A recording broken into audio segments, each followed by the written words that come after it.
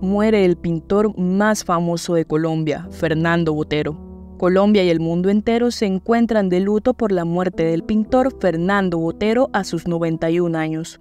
La noticia se dio a conocer a través de varios medios colombianos, quienes se contactaron con Lina Botero, hija del pintor, quien mencionó, Llevaba cinco días bastante delicado de salud porque había desarrollado una neumonía. Murió con 91 años, tuvo una vida extraordinaria y se fue en el momento indicado.